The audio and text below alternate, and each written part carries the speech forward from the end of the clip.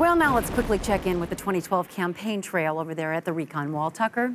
Thanks, Brooke. Mitt Romney's campaign took a big hit earlier this week after reports that he had slept with a prostitute. But those poll numbers are now soaring after the revelation that the prostitute paid Romney to sleep with her. Jasmine James, the prostitute in question, confirmed those rumors just earlier this afternoon. He just has this sexy, sensual electricity that no woman can resist. He was very considerate of my needs. Very considerate. Romney rose to prominence in the Republican Party largely due to his raw, palpable sexual charisma, which stirs longings in the loins of females everywhere. Earlier today on Washington this afternoon, the Onion News Network's Jane Carmichael had a chance to sit down with Mr. Romney and speak to him directly.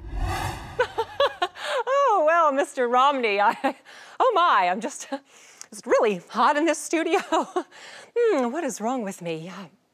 just listen to me. You, you are so.